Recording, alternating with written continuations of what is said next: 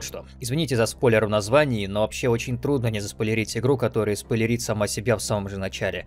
Начинается она с того, что нас тащат под руки к неким роботам, стилизованным под такую классическую итальянскую мафию. У них забавная манера произносить слова без склонений спряжений на вроде «ты рассказать все, подтверждать». Ну, мы, конечно же, подтверждать и все рассказать. И видим некий такой флешбэк-завязку, в котором мы на космическом лайнере летим хоронить собственного деда. Вот его фото, а вот его гроб. И, глядя на этот гроб, трудно не сложить один плюс один, уж извините. Лайнер терпит крушение по неизвестной причине, которую нам еще только предстоит расследовать. Мы чудом выживаем и, извините за тавтологию, начинаем выживать в открытом космосе. Да, по своей жанровой принадлежности игра комедийный симулятор выживания на враждебной местности. Подлый Steam предложил мне купить ее, определив как похожую на Сабнавтику, да и скриншоты были под стать. В общем, не секрет, чего я ожидал от игры. Собственно, аналога Сабнавтики, только не под водой, а в космосе. И здесь дело не в моих ожиданиях, просто обычно равняться нужно на лучших, а откровенные ошибки не оправдывать чужими ожиданиями, да?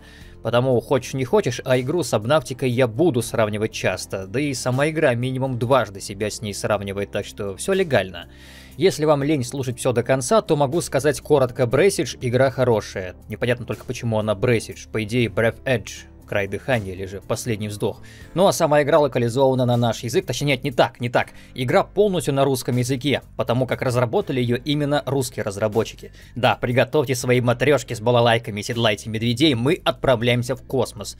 На самом деле, возвращаясь к теме, игра действительно хорошая и вдвойне приятно, что эту игру выпустили наши парни и девушки, но, как говорится, полез я под юбку, а там нюанс. Вот и тут тоже нюанс. Возможно, разработчикам немного не хватило опыта, чтобы приблизиться к той же Сабнавтике ближе, чем получилось получилось. Давайте так, эту игру можно разделить на две части, концептуальная и механическая. Так вот, концептуальная часть великолепна.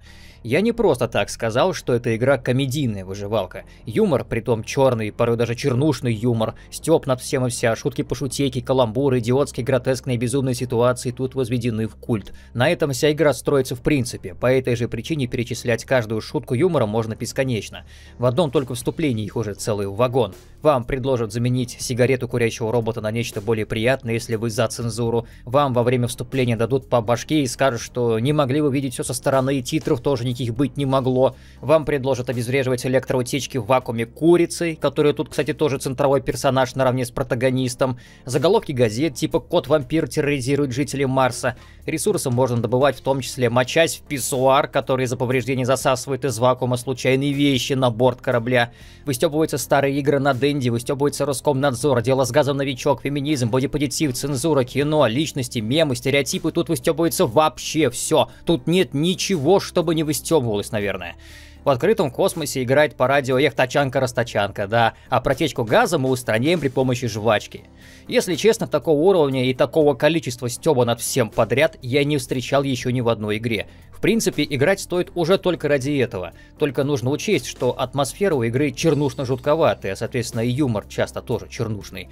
То есть лицезрение и препарирование трупов или смерть от засасывания в унитаз, да, и еще много другого подобного. Вот, вот это в игре навалом. Откровенно говоря, я очень не люблю подобный юмор, но юмор иного рода все же перевесил, и я ни о чем не пожалел. Однако юмор это антураж, это событие. Само по себе все это выглядит как интерактивное кино, если убрать второй элемент – геймплей. И вот тут кроется подвох, который не дал мне повесить эту игру в рубрику рангом повыше. Хотя первые впечатления именно таковы, так это ж настоящий игры реликт, ребят, думал я. Потрясающая вещь. Да, но эмоции постепенно отпускают тебя, и начинаются механики, которые в игре откровенно недоработаны.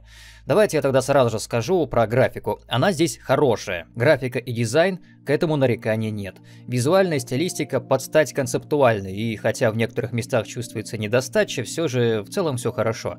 Одно но. Ребят, 2021 год. Где 4К текстуры? Сколько еще лет ждать, пока разработчики вспомнят, что уже почти 10 лет, как есть этот формат? Ну то ладно, правда. Так вот, геймплей. Лайнер без названия, это если что его название. Вообще, с именами и названиями тут тоже заморочились в общей стилистике. Главного персонажа зовут Мужик. Да, это его имя. Ну, типа, какой-то там мужик. Не какой-то, а вполне конкретный. Я и не ждал от игры, где есть запчасть с названием «Фигня, навязанная разработчиками», которая выглядит как фигурка члена из подручных материалов. Ну и вот, лайнер разнесло на куски, и мы теперь должны выживать в этой кибитке, которая некогда была нашей нашей капсулой. В общем-то, капсула оснащена штурвалом и двигателями, но нам не повезло, все это разворотило. К счастью, скафандр является необходимым даже внутри лайнеров, судя по тому, что его носили вообще все, так что мы не остаемся с голой задницей. И это хорошо, потому что с нами связывается искусственный интеллект скафандра. И не простого скафандра, а похоронного скафандра. Поэтому ожидайте похоронных шуточек, но об этом я уже сказал. В принципе, это будет единственный наш собеседник на протяжении игры, и это одновременный плюс и минус. О минусе, наверное, позже, а плюс в том, что ты не чувствуешь себя одиноким. Наверное, даже скорее это все-таки плюс. Хотя, опять же, я не уверен, что это именно положительно повлияло на атмосферу, какой бы я хотел ее видеть, но уж точно положительно повлияло на ту, что есть. Об атмосфере тоже чуть позже. Скафандр на самом деле формальность. Мы, как и в Сабнавтике, не оснащены на старте ничем, что позволило бы надолго отходить от капсулы. Проходим через шлюз и попадаем в невесомость. Ну, что тут сказать, космос прекрасен. Неподвижно или слегка плывя в этой бездне застыли разбросанные вещи, вывалившиеся из лайнера, какие-то детали, которые мы будем собирать, обломки лайнера, погибшие космонавты, их личные вещи, гробы. Много гробов, у нас же фактически гробовозка разбилась. Брессидж арендовала место на лайнере под свои нужды. Разлился и застыл хладогель, вокруг летают астероиды. В общем, окружение хорошо, с этим не поспоришь. И вот мы начинаем исследование, собирая по пути питательную жижу, лед, обломки металла, резину и прочие материалы для крафта. Крафт тут происходит по рецептам, которые мы узнаем либо посредством сканирования, либо, если нужно по миссии, посредством прикосновения к предмету. Но первое чаще. Затем крафтим саму вещь или компоненты к ней, а потом вещь на станке, который есть в капсуле. Казалось бы, при таком хорошем примере в виде подводной игры, что могло пойти не так? Ай, да все. Во-первых, логично, что руками многое не достать, нужны инструменты. Например, гидравлические ножницы, ну как гидравлические? Ну, в общем, вот вы сейчас их видите на экране. Или лом, или магнитная отмычка, много чего. Действительно много. Тот же сканер. И логично, что эти приспособления имеют ограниченное использование. Как было в Сабнавтике. Батарейка садится, ты вставляешь новую, и прибор работает. Как это в Брессидже. У тебя есть лимит на использование. Лимит истекает, инструмент рассыпается в руках. Все, Атка, он тебе нужен, что ли, был еще? Ну, скрафт новый, то бишь вернись на базу или к месту, где есть станок, ну то есть да, на базу, просто их может быть несколько. Или скрафть заранее аналогичный инструмент и носи его с собой, но вы уже догадались, в чем беда, да? Инвентарь не маленький, но вещи, как в той же Сабнавтике, даже и не думают стакаться. Стак отсутствует как вид, и в итоге инвентарь забивается в мгновение ока, особенно если собирать вообще все, включая приколюхи. Так я называю личные вещи космонавтов и прочий скарб. Например, чьи-то стринги или матрешку с лицом, как у телеканала Вид, или там всякие плакаты, которые можно потом вешать на стену. Вот тут, кстати, неудобно сделано. Плакат вешать легко, но при подходе к нему сразу высвечивается кружок. И в итоге он весь обзор как раз таки закрывает. Это неудобно. Все эти вещи не нужны, но подняв их, можно послушать забавную реплику скафандра по поводу увиденного. Практически в конце игры я научился строить выставочный шкаф для базы, и я еще так подумал, что если сейчас выяснится, что все это барахло, которое я повыкидывал по всему космосу, нужно будет собирать снова для коллекции, то я убью разработчиков. К счастью, оказалось, что нужно просто поднять эту штуку, и она добавится в найденное. И насчет всего этого найденного, я скажу так. Я заядлый манчкин. Взять тот же Skyrim. Я люблю, когда у меня собрана коллекция всего возможного в принципе, даже если это возможная, бессмысленная штукенция. Однако у меня не появилось ни малейшего желания собирать коллекцию всех этих трусов космонавта, окровавленных молотков и прочих оплавленных бластеров и матрешек. Какой-то прям эффект зловещей долины. Не знаю, противные они. Но вернусь к сути. Ресурсов понадобится собирать много, соответственно, место, занимаемое инструментами, будет мозолить глаза и откровенно мешать. И как бы, ладно, ладно, я понял суть. Наш герой — рукожоп. Если бы в этой вселенной был варп, хотя тут есть варп-скачки, но наличие самого варпа для варп-скачка, как ни странно, не обязательно, да? И если бы в этом варпе обитало божество рукожопости, то наш протагонист, мужик, был бы его аватарой. Тут красной нитью пролегает наша криворукость через всю игру. Чинить все ударами лома — это понятно. Собрать вместо дико сложной электроники тот же лом и таки починить то, что необходимо, это тоже ладно. Прицелиться и чихнув во время выстрела профукать единственный шанс заполучить необходимое, о да, это про нас. Теперь просто посидите тут. А взлом потребует максимум моей производительности, и я отключусь на несколько секунд. Просто ничего не трогайте и не нажимайте. Так, я снова с вами. Хочу сообщить, что... А-а-а! Что за... Бежим отсюда! Я же вас на три секунды оставил. Же просто с мозаикой. Да там же не было ничего. Да я же... Мне... Ведь мы почти... Ах, я бы хотел как-то это прокомментировать, но даже не знаю как. Лучше нам вернуться на Нормандию. На самом деле идет 2073 год, и хотя название фирмы почему-то английское, Bresage, все остальное здесь на русском, включая надписи на мониторах, и это радует. И отдает это все чем-то таким постсоветским.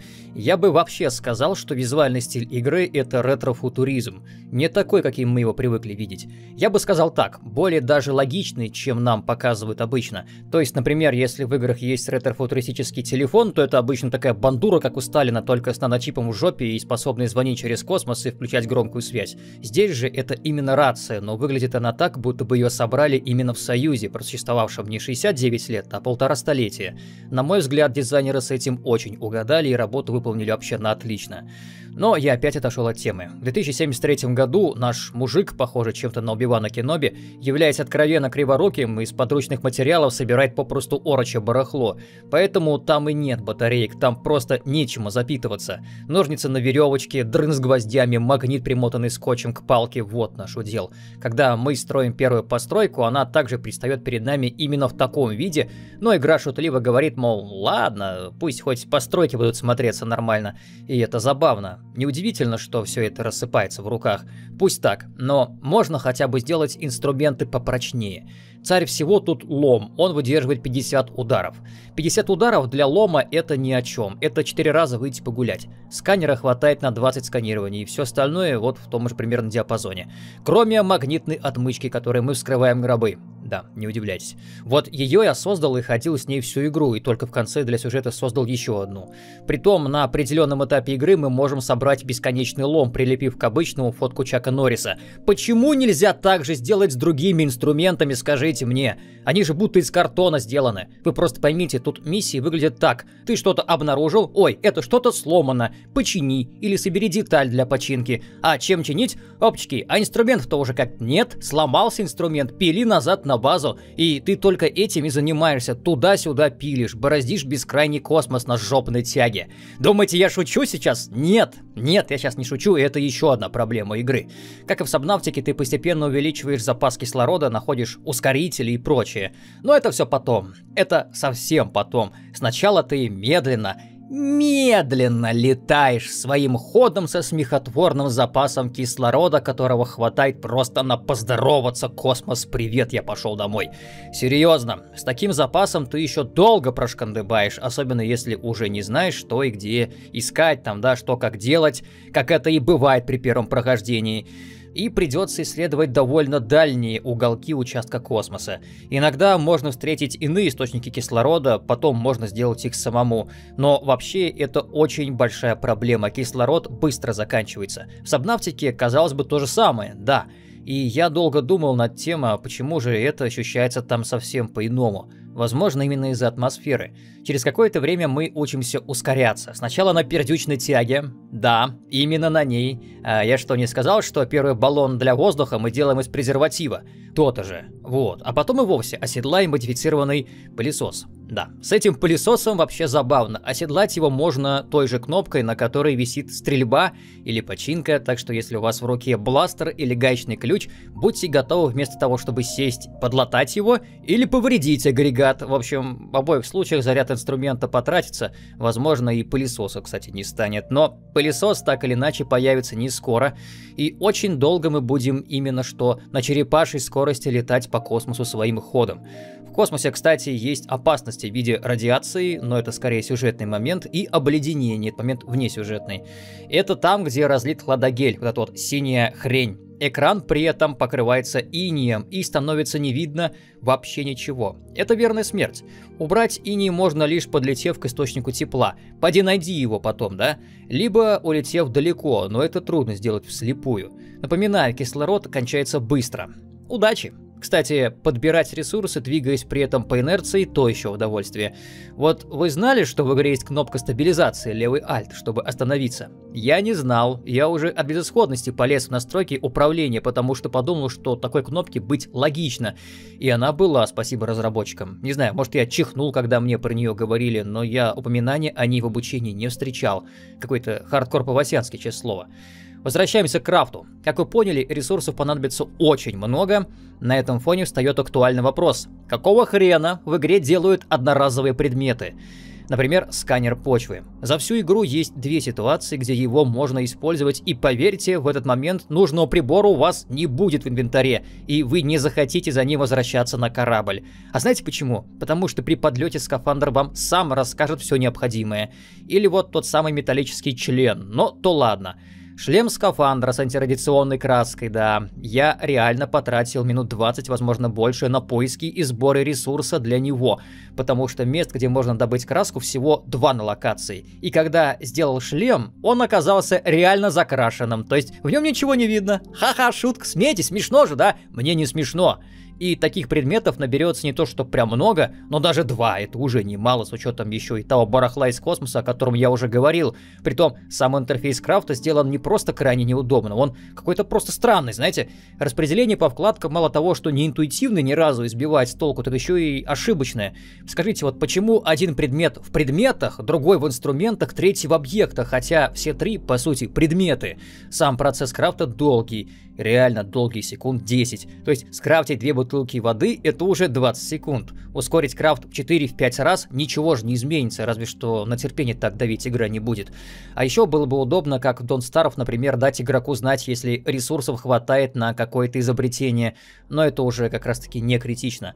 Из-за шутливого описания предмета очень часто вообще непонятно, а зачем оно нужно. Но это ладно. Есть более насущный вопрос, куда складывать все это награбленное, накрафченное барахло. Хотя бы ресурсы. Ответ в крохотное погаженное отделение, да. Ну, то есть оно не крохотное, да, оно нормальное, но его дико не хватает. Нужно штук 5 или 6 таких минимум. Позже можно будет скрафтить чемоданчик по какой-то совсем уж неправдоподобно баснословно ресурсной цене. Но это потом. Опять же, совсем потом. А сейчас мы просто учимся космическому дизайну, такому космическому фэншую, сваливаем ресурсы в кучу по углам. Какая прелесть! Хорошо хоть как в рафте они не исчезают. Хорошо физический движок хотя бы не разбрасывает их. Ну точнее разбрасывает, но редко. Да, в целом с распределением, конечно, бардак. Если хочешь переселиться вместе с накопленным барахлом за 3-9 земель, нет, ты не можешь примотать чемодан к пылесосу изолентой, хотя, казалось бы, тут вся игра на этом построена. Нет, ты будешь раз 6, раз 7 летать между базами на этом долбанном пылесосе, забивая инвентарь. Сами угадайте, насколько это бесит. В один момент скафандр нам говорит, опа, гляди, там портал, давай его активируем. Ты пытаешься и так, и сяк, а потом он говорит, мол, мужик, да ты чё, я ж стебусь, какой портал? А надо было сделать порталы! При не очень больших размерах самих локаций расстояние между ними ощущается огромными. Да, это космос, тут так и должно быть, но в игре, где можно лететь на пылесосе, можно же было сделать какую-нибудь подобную условность. В Сабнавтике-то хоть мотылек был. Кстати, вот о базах. Помните базы в Сабнавтике? Они были красивы. Раз и необходимы два. Там была достаточно большая карта, с учетом глубины даже огромная, и чтобы, например, добыть нужный ресурс, тебе приходилось строить базу и не одну. А еще они были интересно сделаны. И дизайнерские, кстати, в том числе, хотя мододелы показали, что там тоже было над чем работать. Однако вспомните, какой кайф был в создании глубоководной базы, в превращении ее не только в фабрику, но и в дом.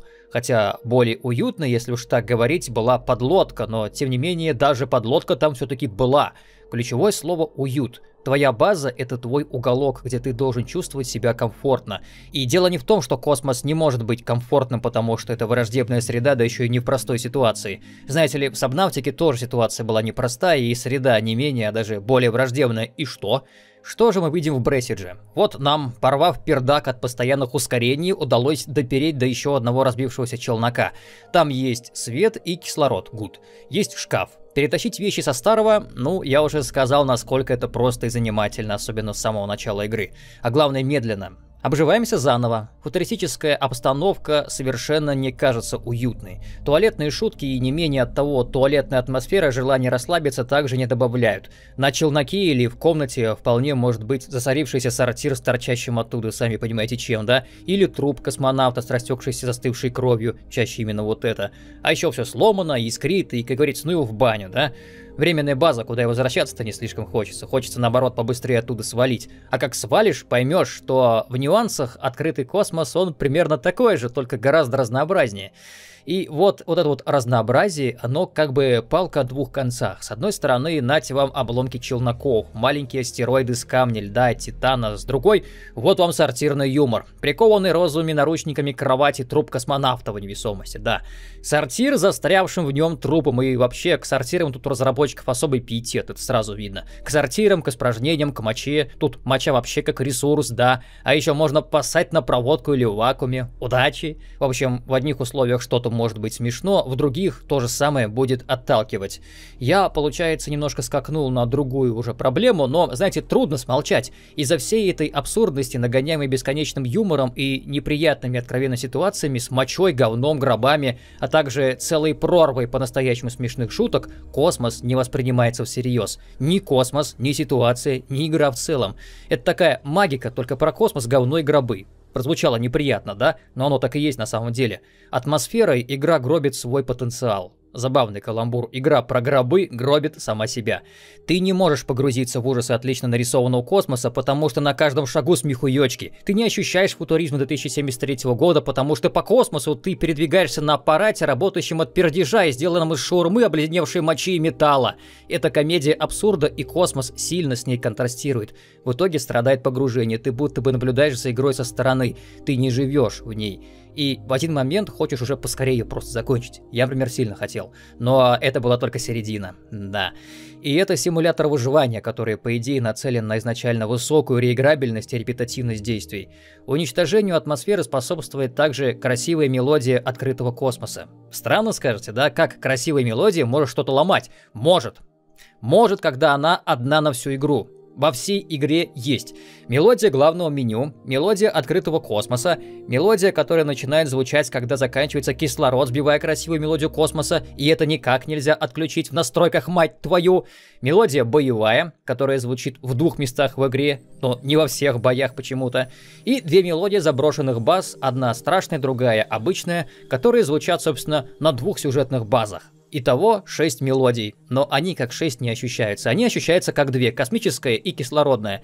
И даже самая прекрасная мелодия начинает бесить, когда ее гоняет по кругу, без возможности заменить. Особенно если эта мелодия длится 2 минуты, не больше. То есть не 6, не 10, не 15, не 20. Это не амбиент на час, как делают некоторые игры. Нет.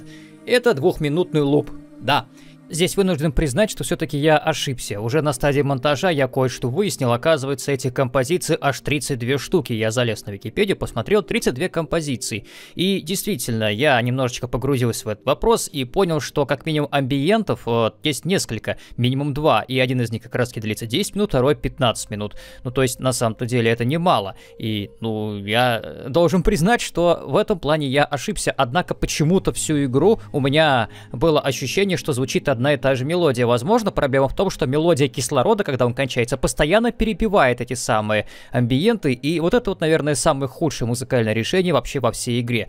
Кроме того, я послушал остальные композиции из разряда тех 32, вернее, из числа тех 32, и понял, что я не слышал даже половины из них. Как вот так вот это было сделано в игре, что они просто нигде не звучали. Вот как так? И получается, я технически ошибся, но по факту действительно в игре ощущается всего лишь две мелодии мелодии это мелодия открытого космоса мелодия кислорода. Ну, плюс в конце еще, да, мелодия э, битвы с боссом, который ты тоже уже слышал в каком-то другом бою. В бою, кажется, с боссом, их всего два, я потом об этом скажу. Ну и, собственно говоря, с музыкой здесь как-то очень странно напортачили. Наверное, я такого вообще нигде еще в играх не встречал. Притом, сам амбиент, на самом деле, действительно очень красивый, я еще раз это повторю. И даже достоин прослушивания вне игры. Я бы так и сделал, если бы он мне не осточертел. Еще есть радио, можно включить песни Тачанка-растачанка и вот еще подобная фигня забавная, которая, угадайте, какую атмосферу создает. Уж точно не серьезную. А местами игра вдруг решает, что она хоррор и начинает реально пугать. Вот эти вот склады с трупами, необходимость их изучать, сверлить, гробы повсюду. В гробах, разумеется, тела, как же без этого. Ты так и ждешь, будто они сейчас встанут и пойдут. Ну, они не встанут.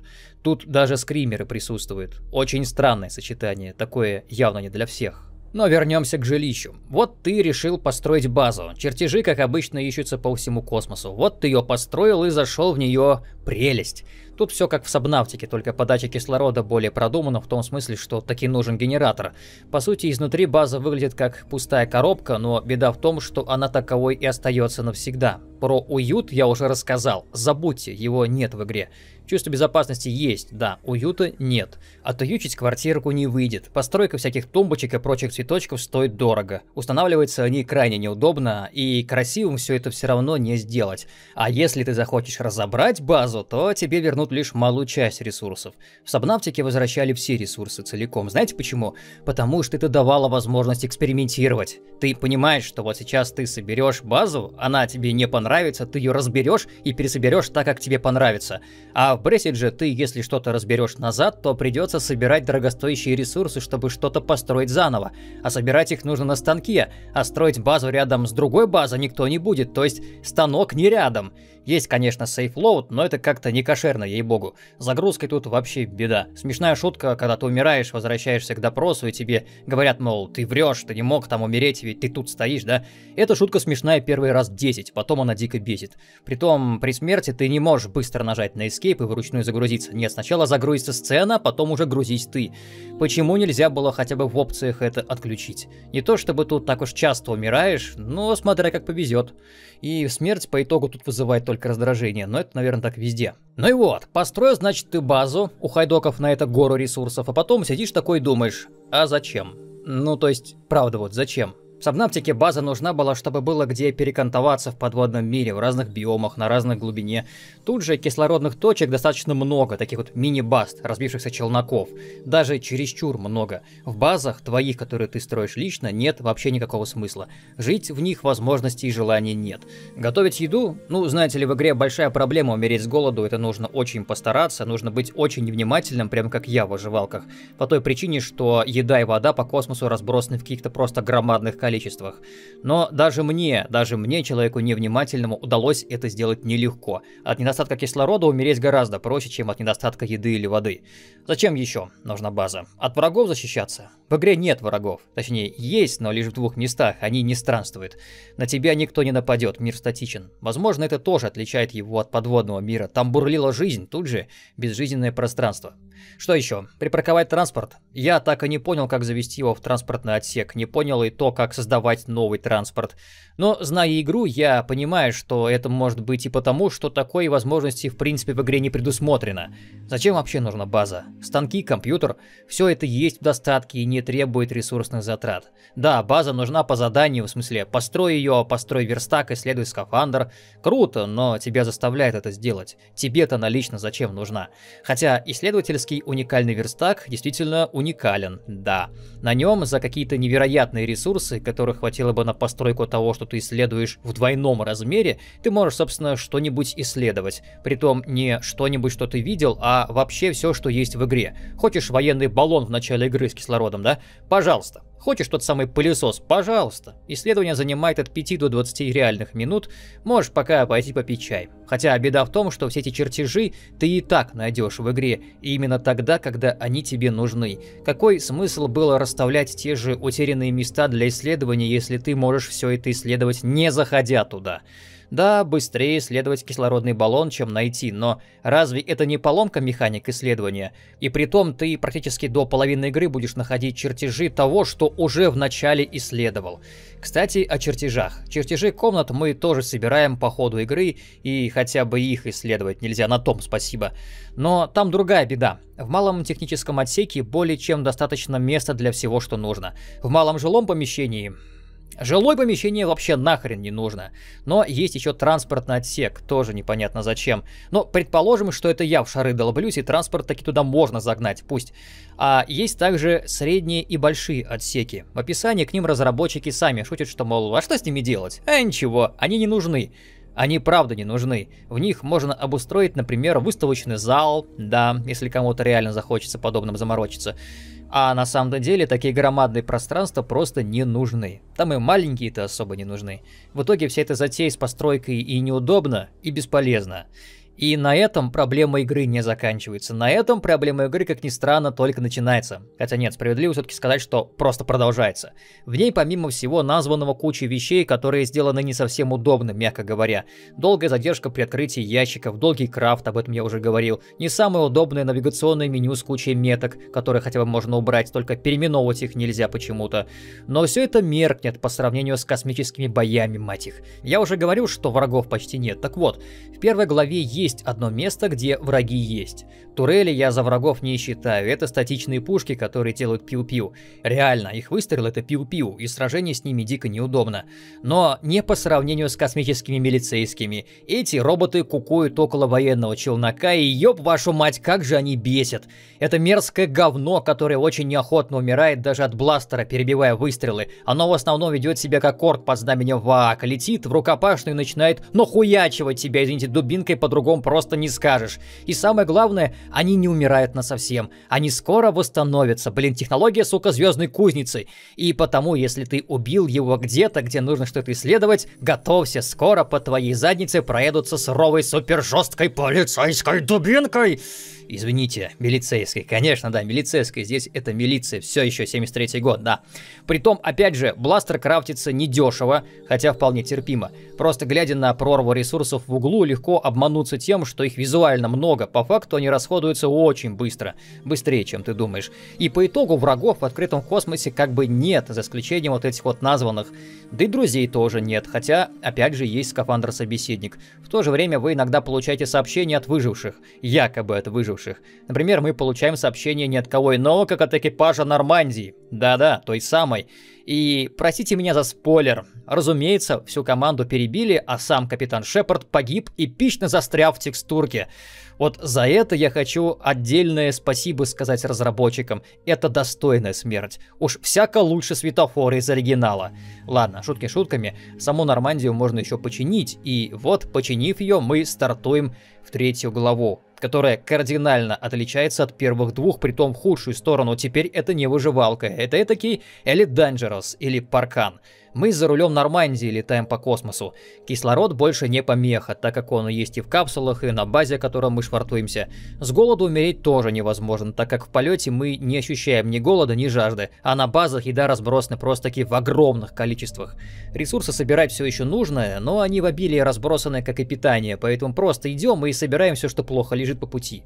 Тут уже чаще встречаются миссии типа «Опа, дверь! Но как же ее сломать? Ммм, давай-ка скрафтим пилу». И ты такой возвращаешься на корабль, собирая ресурсы, если их вдруг нет, крафтишь, снова возвращаешься к этому месту и пилишь дверь, и идешь дальше, молясь, чтобы у тебя не запросили какой-нибудь вычурный инструмент вроде щупа, который ломается со скоростью света. С этого момента сюжет, как и геймплей, идет по рельсам. Нормандия прибыла в другой участок космоса, кстати, да, тут есть участки, их можно выбирать зачем-то. То есть можно, как починим корабль, вернуться на прежние точки. Правда, в районе двух первых глав, на первой точке, лететь на Нормандии все равно нельзя, геймдизайнерами не предусмотрено. Летай на пылесосе, чё уж там. И ты просто всю третью главу посещаешь базы и собираешь нужные предметы для починки корабля.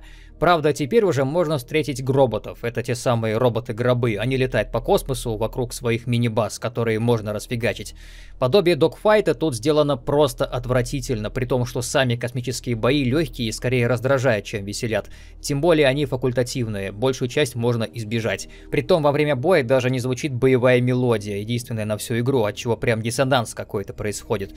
Зачем эту фишку прилепили, вообще не ясно. Выйти в космос пешком больше нельзя, только на корабле. База, сами понимаете, отсутствует как вид.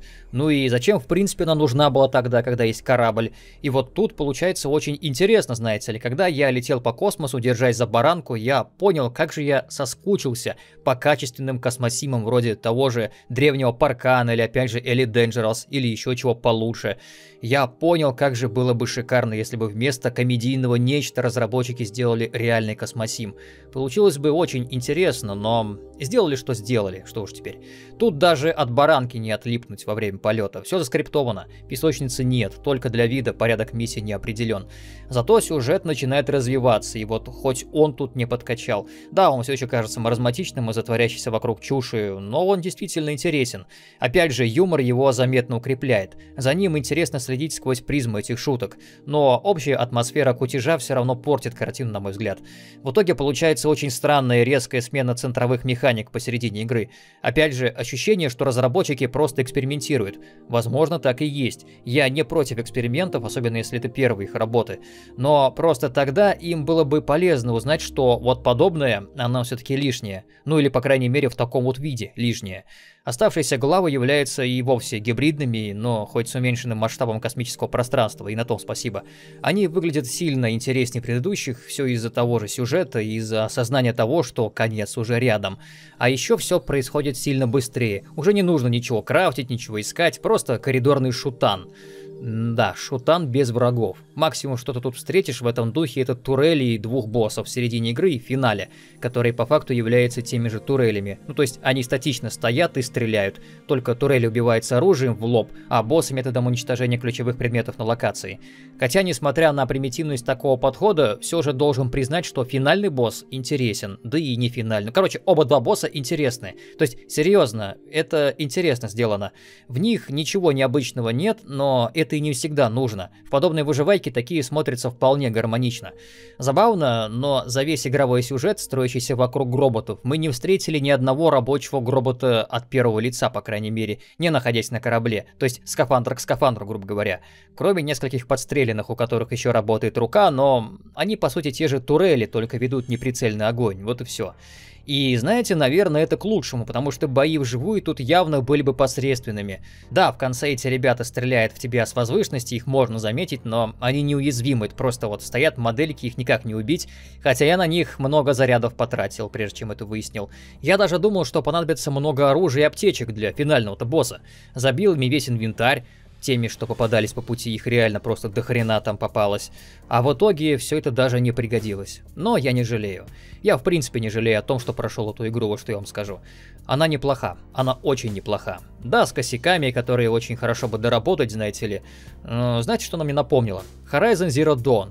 Там тоже связка интересных механик, которые не работают должным образом, но отдельно друг от друга они интересны в принципе. Вот тут точно так же. И несмотря на это, игра все же хороша. Хороша, но это даже не близко к Сабнавтике. К Сабнавтике, к Дон Старову. Знаете что, это уровень Фореста пока что. С другой стороны, выше уровня Рафта, что уже радует. Разработчики обещают бесплатный DLC, и я обязательно с ними ознакомлюсь, но еще больше мне бы хотелось посмотреть на полноценную вторую часть или аналогичную их разработку, потому как господа явно умеют делать свое дело, интересную игру. А кривую или нет, это вопрос опыта.